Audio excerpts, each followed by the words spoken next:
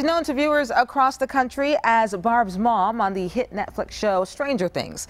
But Atlanta actress Cynthia Barrett is going through some strange things too on stage. She's currently starring in the play Be Here Now at Lawrenceville's Aurora Theater. Good Day Atlanta's Paul Milliken sat down with her there to find out more about the show. It's about how nothing matters. No, what's it about, Bari? Some plays feature a warm and fuzzy central character, the kind you instantly fall in love with. Be Here Now probably isn't one of those plays. Bari is a misanthrope. um, she says she's never been in love or she's never felt love before. No, I mean, I'm not interested in this. But that doesn't mean Atlanta actress Cynthia Barrett didn't immediately want to play this part.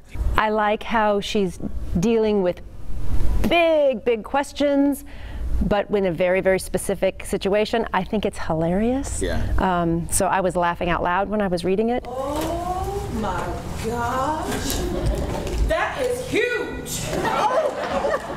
And now audiences at Lawrenceville's Aurora Theater are laughing too at the totally unexpected journey Bari takes over the course of an hour and a half. Things aren't working out for her very well.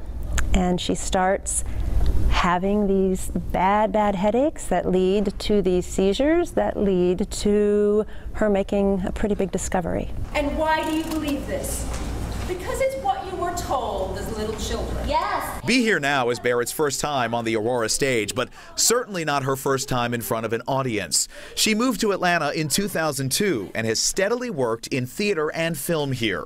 One of those screen credits comes on a little show you might have heard of, in which she plays a character called Mrs. Holland. When it started, who knew? Nobody knew what it was. We just had, a, you know, it was just another project, and then for it to blow up the way that it did, um, it's been fun. I mean, it's been great. It's been kind of crazy because you don't realize that kind of everything that goes back to Stranger Things. Yeah, like anybody, any interview I'll do, any people will talk to me out in the lobby. It's oh, they always want to talk about Stranger Things, yeah. and that's the first. That's a first for me with that happening. One day soon, you will disappear from the face of this earth as if you've never been here. But people will also be talking about Be Here Now, a play where the strange things on stage have thought-provoking, real-life relevance. In Lawrenceville, Paul Milliken, Good Day Atlanta. Be Here Now runs at Lawrenceville's Aurora Theater through October 21st. Back to our hot topic on this Thursday. A new study finds parents get just 32 minutes